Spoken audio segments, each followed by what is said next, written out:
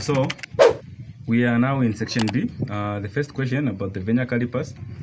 They want to know the reading of the vernier calipers. Uh, first of all, when dealing with the question of the vernier caliper, you have to see from this number, the first number you are seeing, and the following number which you are seeing. You have to see the, you, you have to know the divisions. These are in centimeters, meaning if these 1, 2, 3, 4, 5, 6, 7, 8, 9, so they are 10, meaning these are millimeters.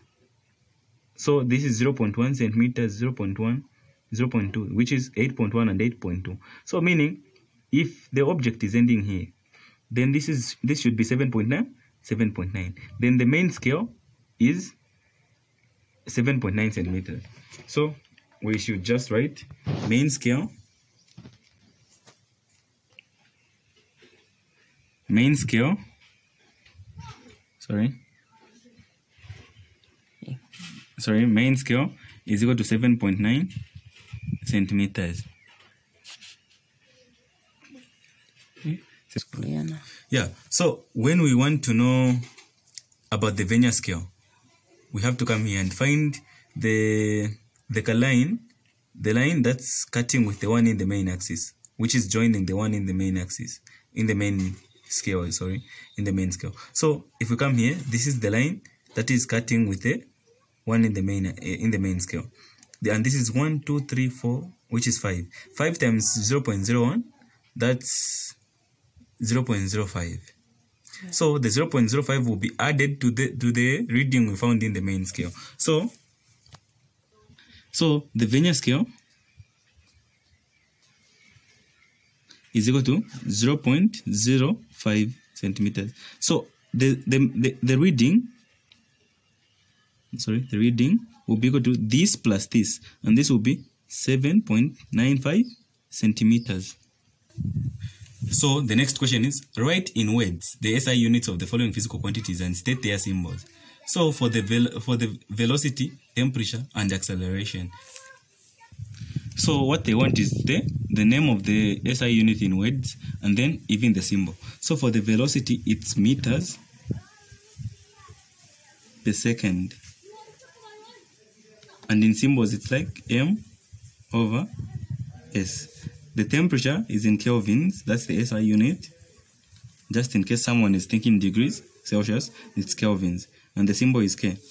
Uh, for the acceleration, it's meters per second. Okay, should I say per square second? Because it's the vel the the velocity over time per square second, and the symbol is meters per second square. Yeah, like that. Yeah. So we go to question two. What is the difference between density and relative density? Uh, the density, the definition of density, first of all, the density is the mass per unit volume. But the relative density is the ratio of the same density, which is the mass per unit volume, of the density of the substance. Yeah. It's the ratio of the density of the substance, which is the mass per unit volume, to the density of a standard. For example, we usually get the density of a standard we are talking about, it's for water, if we are dealing with a liquid or solid, and the, the density of air, if we are dealing with a gas. So the relative density is simply the, the ratio, density of a substance, the density you find over a standard. If it's a solid or liquid, you use the density of water as a standard. And if it's for air, it's for any gas, you use the density of air as a standard. Uh, figure 2.1 shows a cuboid container that has 5 centimeter square base and contains water to a height of 6 centimeters. So this is 5 and this is 5 what is the volume of the water so the volume uh-huh. so in order to find the volume uh, this is the height oh this is the height and this is the length this is the breadth so the volume will be equal to l times b times h which will be equal to 5 times 5 times 6 sorry. So 25 times 6 that's um 150 cubic centimeters. Uh,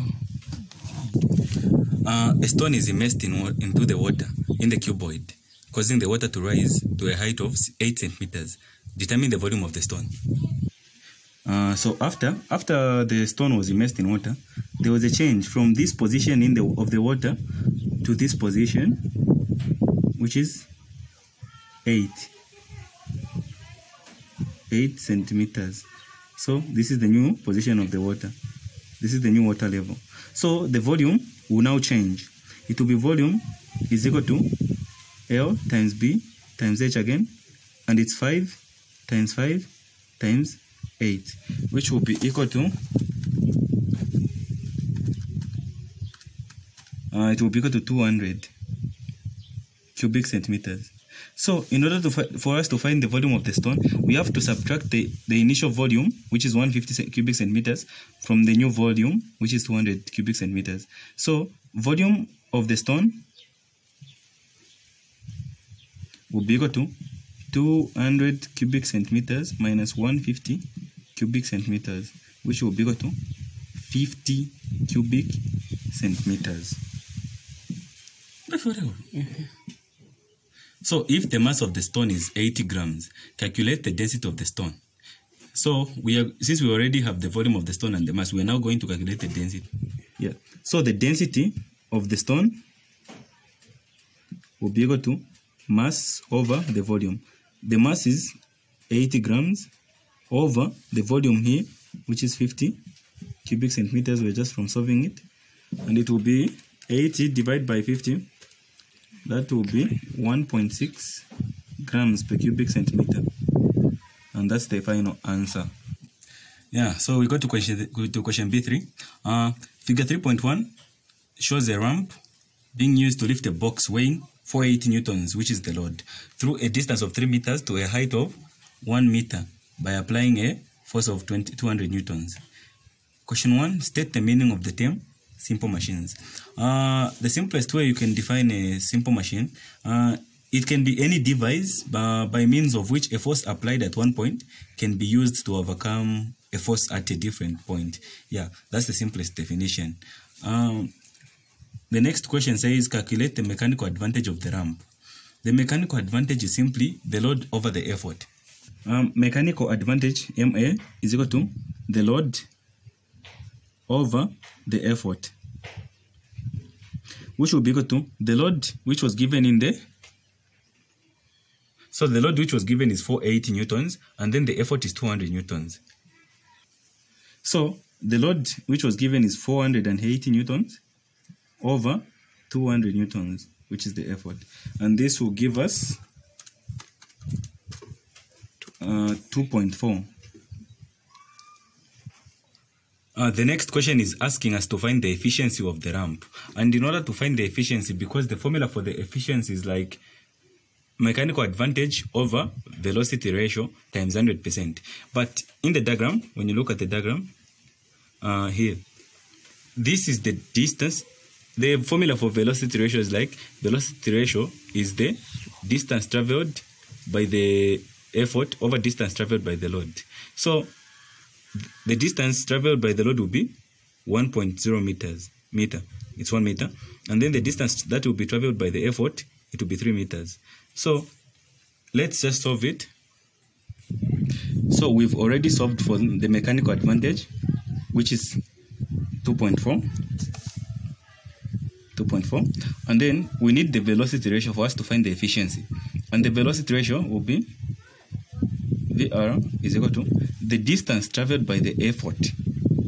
And the distance traveled by the effort is this one. The slope, the distance of the slope, which is 3 meter, 3 meters, over the distance traveled by the load, which is 1 me, 1 meter. Uh, VR will be equal to 3. So the efficiency will be equal to MA, which is the mechanical advantage, over velocity ratio times 100%, which is equal to 2.4 over 3 times 100%. Let me just compute that. Times 100, that's 80%. Uh, so we go to question 4. Sh figure 4.1 shows a glass syringe with a sealed tip containing a gas at an initial, an initial pressure of 360 pascals placed in hot water. After a few minutes, the piston in the syringe moved up. using the kinetic theory, explain why the piston in the syringe moved upwards when the syringe was placed in hot water. Uh, this occurs because uh, when you increase the temperature, the, when the temperature was increased, the particles in this container were given kinetic energy. So the kinetic energy of the particles increased. They tend to collide more frequent when the temperature is high and the kinetic energy is high. So, and then when they collide, they exert a force on the walls of this container. And when since the force is exerted on an area, the pressure increases too. So that's the answer. That's the explanation according to the kinetic theory. Uh, the piston was pushed downwards to 20 cubic centimeters while the temperature was kept constant. In terms of kin the kinetic theory, explain why the pressure of the gas in the syringe increases when the piston is pushed downwards. So when you push the piston downwards, you are reducing the volume. And when you reduce the volume, th th those gas particles which are scattered, you tend to bring them closer. And we are just from talking about the collisions. So if you bring the particles closer, then the the collision the collisions in the in the container, the collisions between the particles will also tend to increase now. The kinetic energy will still increase again. See, hence the pressure will also increase, just as in the first question we, which we were just from explaining. Uh, calculate the pressure of the gas. Uh, so calculate the pressure of the gas in the syringe. Uh, in this case, we are going to use the Boyle's law. Yeah, the Boyle's law, uh, which states that for a fixed uh, for a fixed mass of air at a constant temperature, the product of the volume and pressure are constant. So in this case, okay, so we get an equation. The pressure, the initial pressure times the initial volume should be equal to the final pressure times the final volume. And what is the initial pressure? The initial pressure was given to us as 360 pascals. So 360 pascals times the volume. So the volume which was given was 60 cubic centimeters. Uh, so we're going to put 60 cubic. So we put 60 cubic centimeters, or should be equal to the final pressure is what we are trying to find, and then the new volume is 20 cubic centimeters. So the final pressure will be equal to 360 times 60 over 20, which should be equal to, let me just compute the final pressure, and it will be 1080 pascals. Or you can write it as 1.08 kilopascals. It's all the same.